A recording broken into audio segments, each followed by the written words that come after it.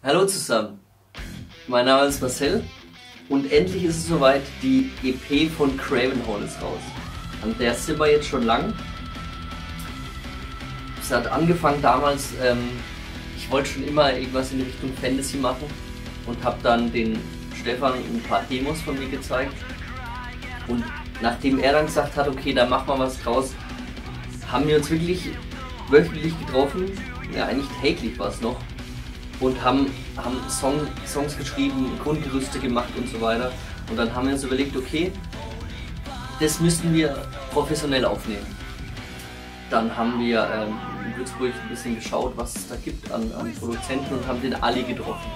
Und es war wirklich gut, dass wir den getroffen haben. Bei dem haben wir dann auch die Vocals und äh, alles andere bei mir haben wir die Gitarren und den Bass aufgenommen und bei ihm dann die Vocals. Haben ein paar Abläufe besprochen, haben uns überlegt, welchen Sound, Gitarrensound, haben dann ähm, Ibanez Mesa Fuki und ähm, dann noch eine, eine, Gibson mit Marshall Amp genutzt und haben die dann kombiniert. Das ist ein richtig guter Sound raus geworden.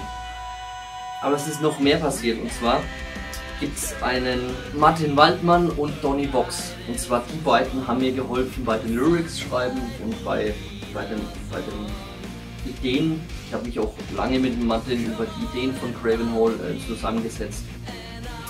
Auf der EP sind fünf Songs. Einmal das instrumentale Wind Before the Storm und dann The Quest Last Stand und Holy Firestorm, die eine Geschichte ergeben.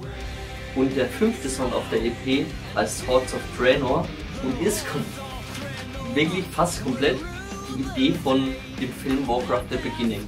Und zwar habe ich den gesehen und habe mir gedacht, okay, da passt so eine Richtung Power Metal sehr gut zusammen. Was kann ich noch drüber sagen? Das Cover wurde von Maurice gemacht, das Artwork.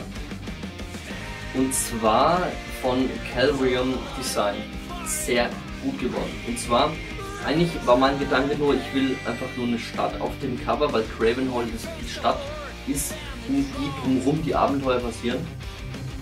Und dann hat er sehr schön die brennende Stadt gemacht.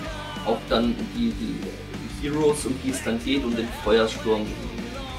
Das, das hört ihr dann über auf, auf Holy Firestorm, worum es geht. Ansonsten eine kleine Geschichte noch.